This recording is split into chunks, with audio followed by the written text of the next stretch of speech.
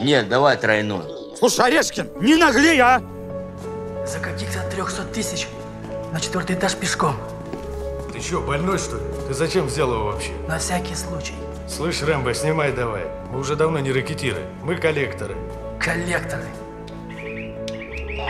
Подожди. Кто-нибудь знает вообще, кто такие коллекторы? Тоже мне название придумали. Как вышибали бабки, так и вышибаем.